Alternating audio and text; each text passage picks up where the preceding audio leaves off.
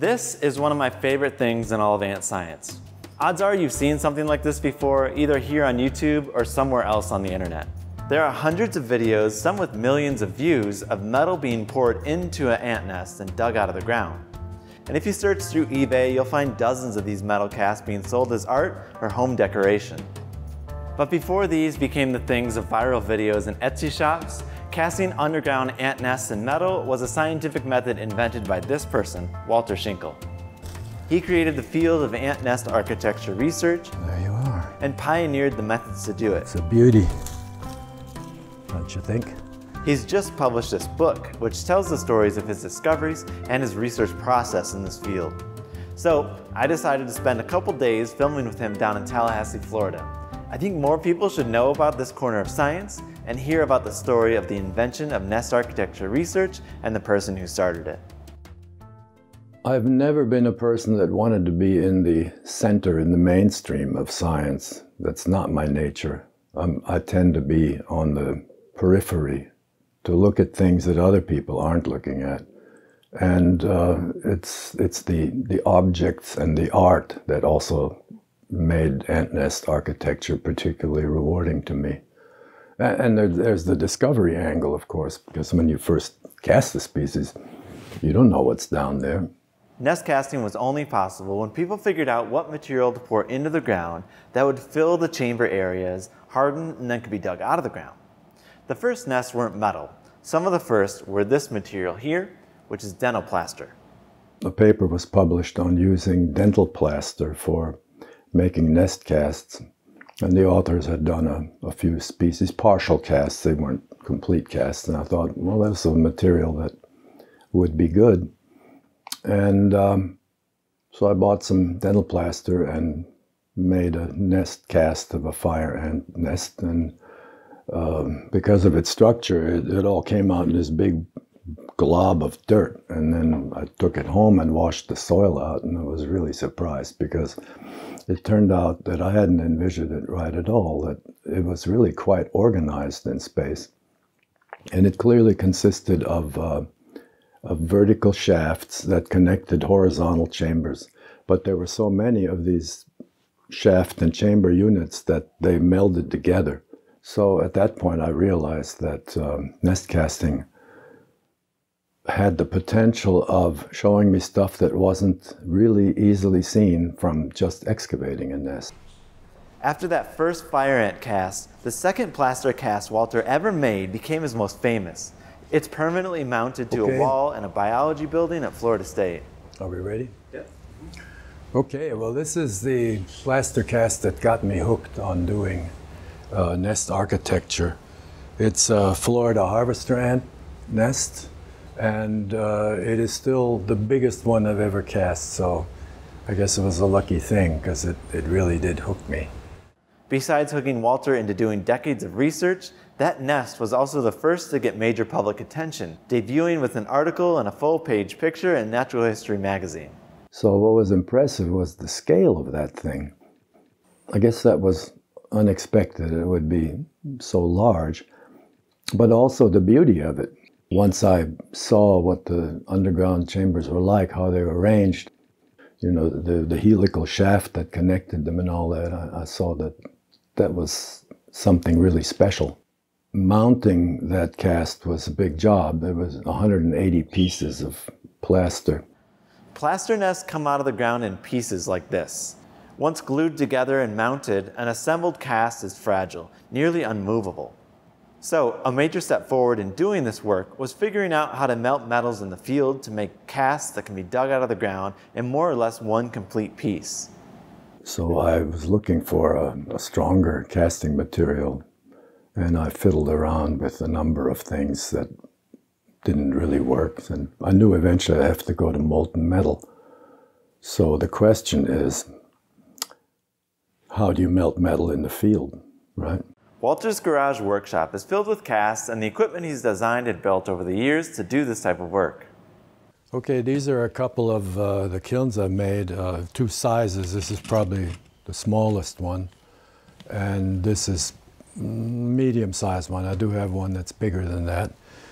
They're both built on the same principle of um, of a container that is lined with uh, an insulating material. In this case, it's uh, an organic fiber blanket. The blanket is protected by a steel mesh, and inside that is a, is a cage into which the crucible fits.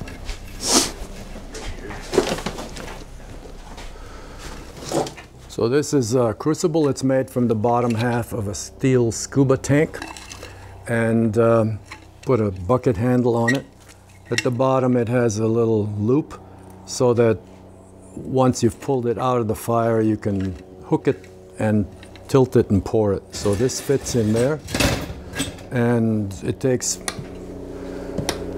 it takes anywhere from uh, 40 minutes to an hour and a half to to have a, a bucket full of red hot aluminum. I take the shortcut now. None of these matches and fat lighter. Uh, one of them. Yeah, let's go with that for a while. This is Apalachicola National Forest in northern Florida, where Walter has done most of his field studies. This site, while we're prepping to do a cast of a Camponotus carpenter ant, is his favorite, a place he calls Ant Heaven. For this cast, the metal being used is aluminum. He sourced it from a cut-up failed scuba tank, and after about 90 minutes of heating, fueled by only charcoal and a passive draft chimney, the metal is liquid and hot enough to pour. Okay.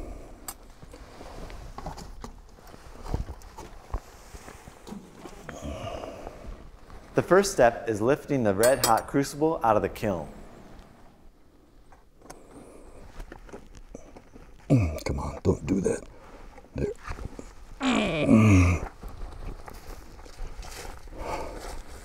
Once the hook is looped, the crucible is tipped and the contents are poured. Okay.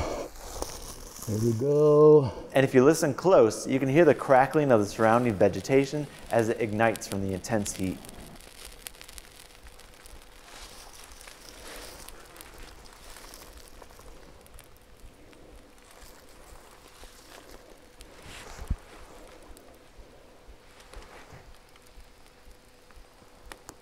It's a big one.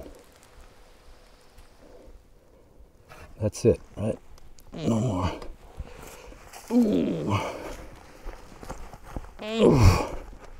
After the pour is done, the crucible goes back into the kiln to keep the remaining metal liquid. It'll be poured out later into divots in the sand to create ingots for reusing. Now, we neaten this up.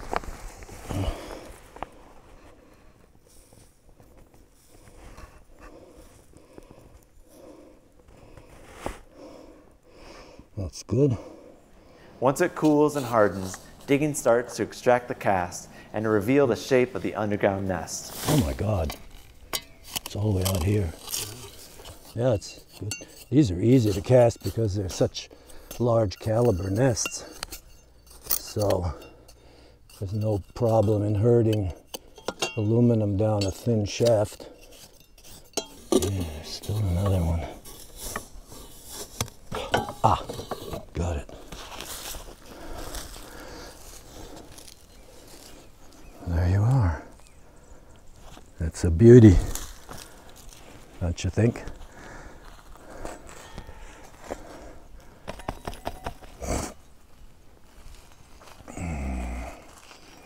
They often have these chambers with the, the holes there because they expand the chamber all the way around. So, ta-da! All of this is in pursuit of trying to describe and understand the biology of these organisms, and the casts themselves present many unanswered questions. This one's different than many because it's so apparently chaotic. So that's, again, remember some of the Pheidole nests were extremely regular and very patterned, and this one is the opposite. So once again, you see figuring out how uh, relatedness in taxonomy is related, related to architecture is a, is a major challenge, and there's no really obvious, um, no really obvious uh, answer to it. I was I had made a cast at Ant Heaven where I work, and I was I had my head down, was digging it out, Um, wasn't a very deep one, just, you know, Camponotus Socius. And all of a sudden I get jerked, um, but my attention was jerked by, there was a guy coming toward me and it was a, a deputy sheriff in his green uniform and his gun and all that. And I thought, oh God, you know, what's he gonna challenge me because I'm digging here in the national forest? And no, he said he wanted to know what I was doing, so I told him. Oh, he says, oh, you're the guy. He says, you're the guy with all those metal casts of ants. And I said, yeah, I'm the guy. So he says, hang on, I got to get my cell phone. My kid is to love this. So he took pictures and videos of me. So, yeah, it gets around.